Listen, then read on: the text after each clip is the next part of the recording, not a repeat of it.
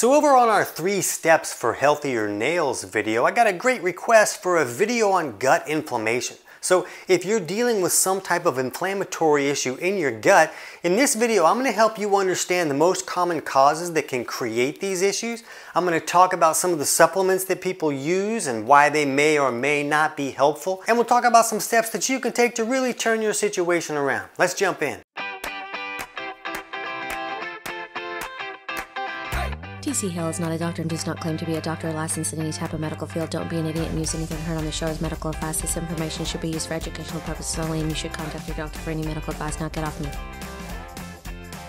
So when you start looking up gut inflammation, you see a lot of information about, oh, it's an unhealthy lifestyle and it's genetics and sorry about your luck. These are just the cards that you were dealt. And when you start talking about lifestyle, a lot of people don't even really know what that means. But some big factors there when it comes to inflammation would be stress and what you're actually shoving down your gullet. What are you eating and drinking? Those things actually count. And if that's new information for you, you're going to have to dig into that a lot because that really matters, especially if you're dealing with inflammatory issues in the gut.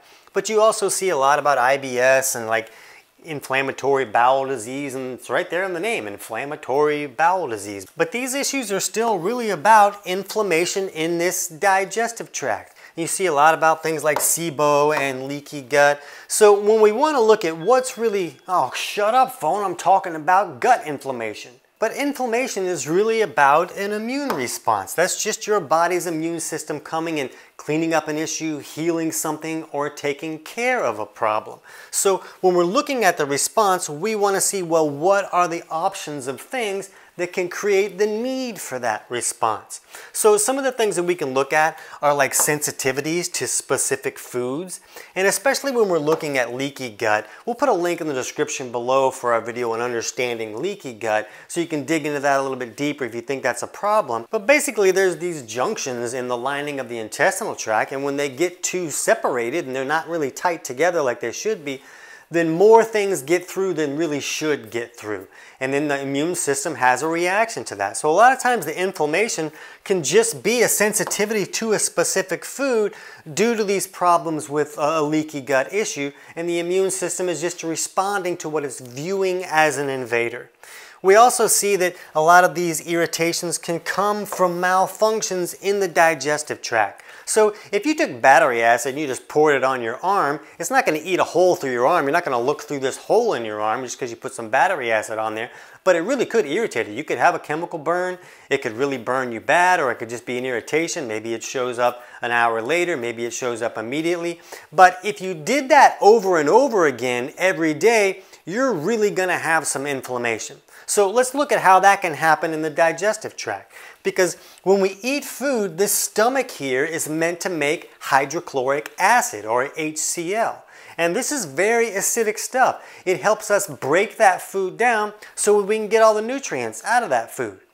And once that food is acidified in the stomach, or the stomach is made to hold those acids, that food will leave the stomach and come down here into the duodenum. Now that acidic product hitting that duodenum triggers this gallbladder here to squirt alkaline bile down to help neutralize those acids. So that's what the gallbladder does. It sends that bile down and then the pancreas will also squirt some bicarb out there. That helps neutralize acids a little bit too. It'll squirt some enzymes out there to help us break down some stuff. But for a wide variety of reasons, some people's bile becomes too thick and sticky to flow correctly. And then it doesn't come down to help neutralize the acids that left the stomach. And then those acids are going to move through the intestinal tract without being neutralized. Well, the stomach is made to hold those acids, remember, but the intestinal tract is not. And those acids are made to break down proteins. Well, that's what your intestinal tract is made of. So those acids moving through are going to irritate that intestinal lining and can create inflammation, especially over time. So if someone's bile is not working correctly, that's a simple malfunction that can create all kinds of inflammation further down the line. And the opposite of this can also be true. The same way that an acidic product can irritate this intestinal lining, Something that's overly alkaline can also irritate that lining. It's very common for someone not to be making enough stomach acid. And then they don't acidify that food correctly. They're not really breaking down their food and getting all the nutrients out of that food. But the worst part of all that is if this bile is coming down and trying to neutralize things that aren't really acidic, then this stool moving through the intestinal tract is going to be very alkaline. And that has the ability to irritate that lining similar to how an acidic product could. And that could create inflammation. To make things worse, this stomach acid is not just there to help us acidify our food, it's also the barrier to the whole body. So when bacteria and other varmints come in on the food that we're eating, they're supposed to die in an acid bath. But if someone isn't making enough stomach acid, they come in and like, oh, this is nice, let's set up camp here. And then they thrive here in the stomach, and then they move down here into this small intestine, and they set up camp there where they should not be. We should have our beneficial bacteria here in our large intestine. We shouldn't have very much in the small intestine. And that's how we create those small intestinal bacterial overgrowth issues or the SIBO, like all the cool kids have. So if we have some type of overgrowth there, well then the body's going to say, oh, I have an immune system. I can send that there to take care of this. But when it's constantly coming in and the body can't really take care of all that, over time that's going to create inflammation just from that immune response to an invader that we were talking about. So we talked about the possibility of a food sensitivity looking like an invader to the body and the body attacking that. But the body can also be attacking actual invaders. And if that's the case, that also has the ability to create inflammation. So you can see that just some simple digestive malfunctions that are very common have the ability to create a variety of irritants that could lead to inflammation. So if you're dealing with any digestive symptoms like burping or bloating or acid reflux or constipation or diarrhea or nausea or, or even maybe you just feel like food just kind of sits there like a rock in your stomach for six hours or maybe you're dealing with skin or acne issues all of these are all signs that digestion is not working correctly. So if you want to dig into that a little bit, my book Kick Your Fat in the Nuts, chapters 3 and 4 kind of walk you through figuring out which aspects of digestion might not be working correctly and steps you can take to improve that. And the book is available on Amazon, but I'll put a link in the description below so you can get the whole thing totally for free. And some other things we need to think about are possible environmental irritants that could be coming down into the body and creating inflammation that way. Things like heavy metals or pesticides and things that we're all exposed to today that we weren't exposed to as much back in the cool kid days. But what's important to understand is you can see that the cause for this inflammation is not going to be the same for every person. It's really going to vary greatly from person to person. And there's a lot of people that might be dealing with a combination of the things that we talk to. So when we look at the most common tools that people use to deal with this gut inflammation, they're using things like zinc L-carnosine and actually, this can be very effective at helping to wipe out bacteria like in the stomach, like H. pylori or something like that. That seems to be effective at that. So if that's the cause of your inflammation, then all of a sudden that can be helpful. But if your inflammation is coming because this stomach acid isn't being neutralized, is zinc carnosine really going to do much for you? It's not going to do much for you if that acid continues to irritate that lining because it's not getting neutralized.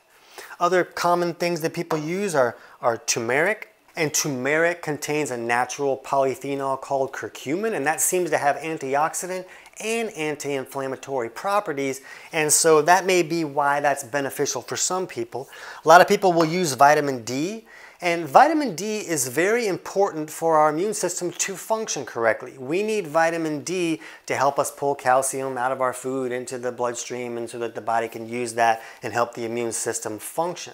But too much vitamin D can actually restrict the immune system from functioning. So a lot of people take these pounds and pounds of vitamin D and then their inflammatory situation goes away and they're like, oh man, vitamin D fixed it. Well, did it fix it or did it just turn off the ability for your immune system to have that response? So we'll put a link in the description below for who should not be using so much vitamin D if you want to dig into that a little bit more. People also use glutamine. That's very popular for inflammation, especially in the gut and the digestive tract.